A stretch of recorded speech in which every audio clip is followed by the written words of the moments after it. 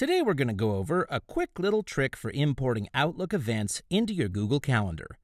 Outlook is pretty widely used, and you will often sign up for an event online and see a link that says something to the effect of add this event to your Outlook calendar. So let's say that you go ahead and download that while in Chrome. You should see a little download button down here at the bottom of your screen. So next, let's head over to Google Calendar and choose Import Calendar. Now in this window that pops up, just drag the event from the bottom of your browser into this window. Now, click on Import. Now when you look at your calendar, you can see that the event has been added to your Google Calendar.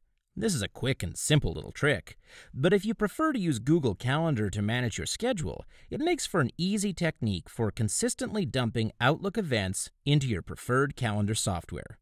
Thanks so much for watching. If you have any questions, just let us know in the comments section below. Have a great day.